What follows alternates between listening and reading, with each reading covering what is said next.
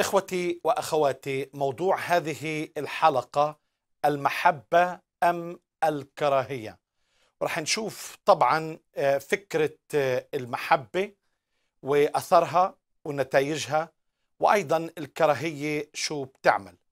خليني أشجعك في هذه الحلقة إنه فعلا إنك تشاهد بقلب مفتوح وإنك تصلي تقول له يا رب افتح قلبي أنا عاوز أعرف الحق وعاوز أختبر النور وعاوز أسلك في النور.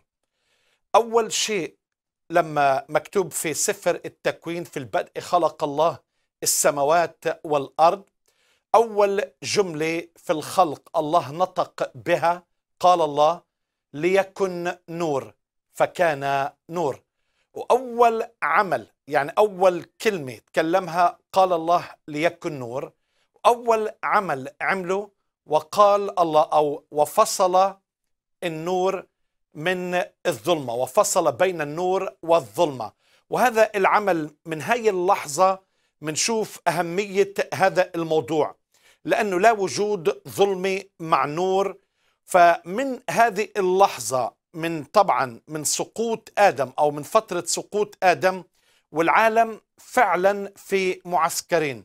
إما أنت بتحب الرب وبتعمل عمل الرب أو أنت تكره الرب وبتعمل عمل الشيطان.